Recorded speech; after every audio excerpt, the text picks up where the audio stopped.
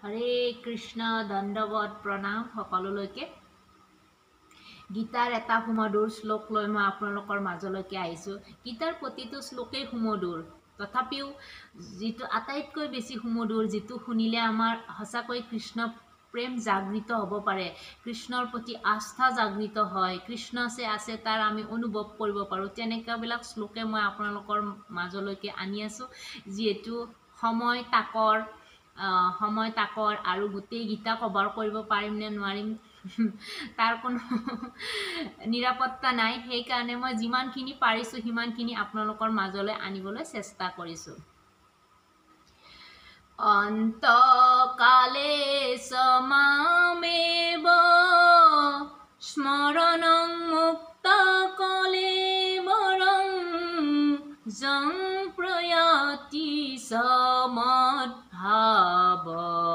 জাতি ন অস্তিয়ত্ৰ সংশয় শ্ৰীকৃষ্ণই গীতাত আঠ নম্বৰ আঠ নম্বৰ চেপ্টাৰৰ পাঁচ শ্লোকত কৈছে যে যিয়ে অন্তকালত মানে মৃত্যুৰ সময়ত মোক স্মৰণ কৰি পেলাই ত্যাগ কৰিব তেওঁ মোৰ ওচৰলৈ আহিব পাৰিব। ইয়াত কোনো সংশয় নাই বুলি কৈছে। আৰু কৃষ্ণই যিহেতু কৈছে যে অন্তকালত মোক স্মৰণ কৰিলে মোৰ ওচৰত আহিব পাৰে তাত কোনো সংশয় নাই। তেতিয়াহ'লে আমিও কোনো সংশয় কৰাৰ প্ৰশ্ন নুঠে। কৃষ্ণই যি ক'ব সেয়া পৰম সত্য কথা বুলি আমি মানি লওঁ। আৰু সকলোৱে মানে যিবিলাক কৃষ্ণৰ ভক্ত হয় সকলোৱে কৃষ্ণৰ কথা পৰম সত্য চিৰসত্য বুলি মানি লয় চবে। আৰু যদি কৃষ্ণৰ কথা সত্য নহয় এনেকুৱা ভবা হয় তেতিয়াহ'লে গীতাৰ গীতাখনৰ কোনো অৰ্থ নাইকিয়া হৈ যাব। আৰু পৃথিৱীৰ কোনো দেশেই আজি আজিলৈকে গীতাৰ গীতাৰ মাহাত্য নুই কৰিব পৰা নাই। মাজে মাজে বাক বিদন্ত হয় যদিও গীতা সদায় জিতে। আৰু জিতি থাকিব আৰু জিকিবই। যেতিয়ালৈকে পৃথিৱীত ভক্ত থাকিব তেতিয়ালৈকে গীতাখন জিতি থাকিব। এতিয়া মই শ্লোকটোৰ অৰ্থ ক'ব গৈছোঁ।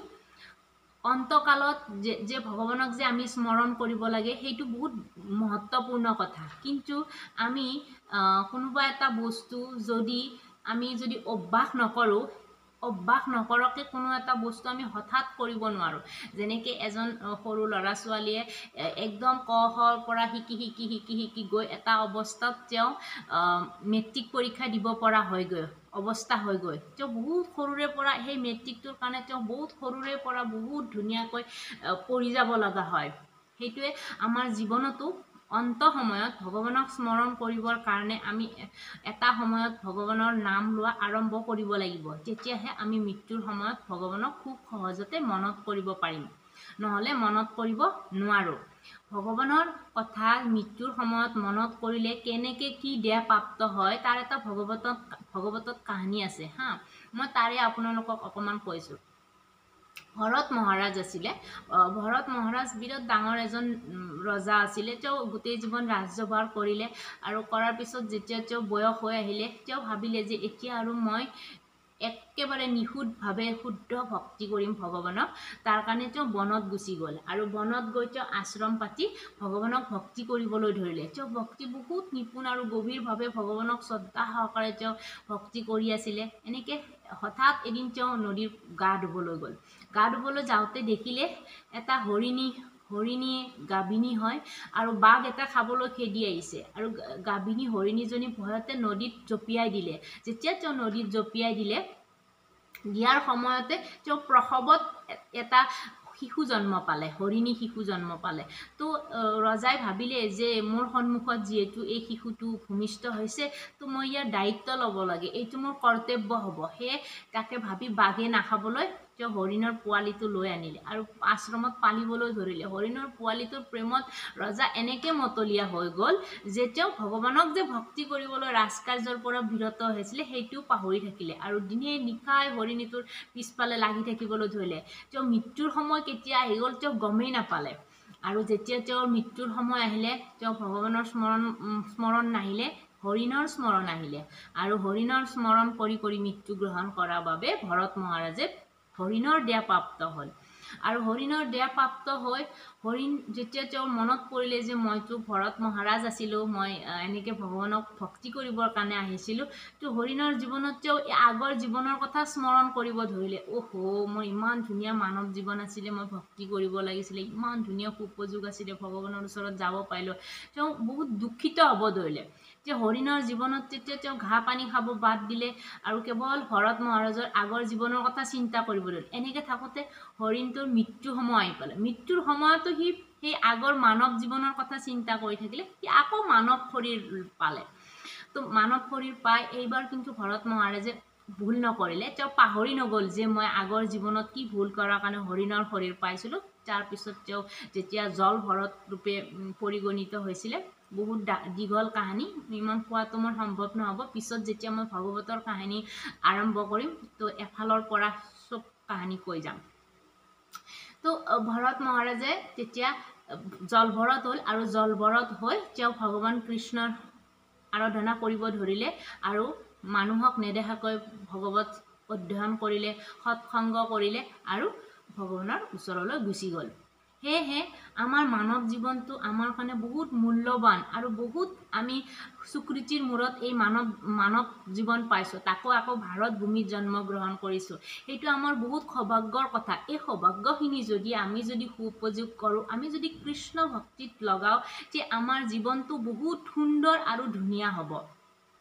আমাৰ সকলোৱে বিচাৰে নিজৰ জীৱনটো খুব সুন্দৰ হওক খুব সুখী হওক আনন্দত থাকক। সকলো বস্তু থাকিলেও মানুহৰ কিন্তু শান্তিৰ খুব অভাৱ হয়। মানুহৰ জীৱনত। যদি সেই কৃষ্ণ ভক্তি কৰে তেতিয়া শান্তি অভাৱ নহয়। কাৰণ ভগৱানৰ শ্ৰী চৰণ কমলৰ ওচৰত শান্তি থাকে। আমি যেতিয়া খুব আশাবাদী হৈ লওঁ ইটো লাগে সিটো লাগে সিটো লাগে ইয়াৰ পৰা এইটো বিচাৰোঁ সেইটো তেতিয়া আমাৰ নিৰাশাই ঘেৰি থাকে আৰু আমাৰ ফ্ৰাষ্ট্ৰেশ্যন হয় মানসিকভাৱে অৱসাদ আহি পৰে।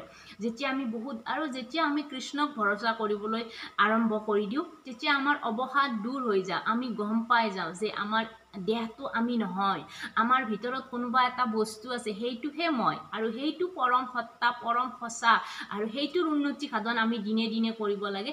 তেতিয়া আমি এই দেহটোৰ যিটো অনুভৱ দেহৰ দেহৰ কাৰণে আমি যিবিলাক আশা বাঞ্ছা কৰি থাকোঁ দেহক আমাৰ সন্মান লাগে। মানুহৰ পৰা আমাক আমি সদায় যে সন্মান বিচাৰি থকাৰ হাবিলাস এই দেহটোৰ কাৰণে যি আমি বিচাৰি থাকোঁ সেইবিলাক নোহোৱা হৈ যাব। আৰু সেইবিলাক নোহোৱা হৈ গ'লে আমি আত্মাৰ কথা চিন্তা কৰিব পাৰিম যে আত্মাটো যে আমাৰ মুক্তি লাগে। মুক্তি মিনছ ভগৱানৰ লগত মিলিত হোৱা নহয়। আমাৰ কৃষ্ণ ভক্তবিলাকে ভগ আত্মাটো কৃষ্ণৰ লগত মিলিত হোৱাটো নিবিচাৰে। কৃষ্ণৰ সেৱা কৰিব বিচাৰে। ইয়াতে যেনেকৈ সেৱা কৰি আছে যদি আকৌ মানৱ জীৱন পায় তথাপি ভগৱানৰ সেৱা বিচাৰে আৰু যদি ভগৱানৰ ওচৰত বৈকুণ্ঠ ধাম যাব বিচাৰে তাতো গৈ সেৱা বিচাৰে। ভগৱান বৈ ভগৱানৰ বৈকুণ্ঠ ধামৰ ধুনীয়াকৈ বৰ্ণনা দিয়া আছে। যেনেকৈ আমাৰ ইয়াতে পৃথিৱীখন আছে পৃথিৱীখন হৈছে ভগৱত ধামৰ ছাঁ ইয়াতে সকলোবোৰ মিছা। যেনেকৈ পানীত পানীত যে পৰি আছে এজোপা গছ পুখুৰীৰ পাৰত আছে পুখুৰীৰ পাৰৰ গছজোপাৰ ছাঁটো পুখুৰীৰ তলত যে আমি দেখা পাই আছোঁ সেইটো মিছা। সেনেকৈ ভগৱত ধামৰ প্ৰতিফলন হৈছে আমাৰ পৃথিৱীখন। কিন্তু মিছা কিন্তু ভগৱত ধামত এইবিলাক চব বস্তু বিচাৰি যোৱা বিচাৰি পোৱা যায়। এইবিলাক যে আমি মৰম বিচাৰোঁ মানুহৰ পৰা সহানুভূতি বিচাৰোঁ প্ৰেম বিচাৰোঁ ইয়াতে ইয়াতে ইয়াত নিৰৰ্থক আৰু মিছা। আমি মই যেতিয়া সৰু আছিলোঁ তেতিয়া মই সঁচা মৰম বিচাৰি ফুৰিছিলোঁ। সঁচা মৰম সঁচা মৰম যেন কোনো কৃত্ৰিমতা নোহোৱাকৈ সঁচা মৰম কাৰোবাৰ পৰা পোৱা যায় বহুত চেষ্টা কৰিলোঁ। কিন্তু যেতিয়া দেখিলোঁ যে সঁচা মৰম বুলিবলৈ এই পৃথিৱীত ক'তোৱেই নাই যি যি সম্বন্ধতে যোৱা যায় চব যেন স্বাৰ্থবাদী চব স্বাৰ্থৰ স্বাৰ্থপৰতাৰে ভৰপূৰ হৈ আছে কিন্তু যেতিয়া আমি কৃষ্ণৰ সেৱা কৰিবলৈ যাওঁ কৃষ্ণৰ ফালে যেতিয়া আগুৱাই গ'লোঁ তেতিয়া অনুভৱ কৰিব পাৰিলোঁ যে অঁ সঁচা প্ৰেম কি সঁচা ভালপোৱা কি কৃষ্ণই আমাক কেনেকৈ মৰম দিয়ে কৃষ্ণই কেনেকৈ অনুভূতি জগায় যে আনন্দত থাকিবৰ কাৰণে। পৃথিৱীৰ কোনো মানুহেই আনন্দ দিব নোৱাৰে সেই আনন্দ কঢ়িয়াই আনি দিব নোৱাৰে অকল কৃষ্ণইহে পাৰে।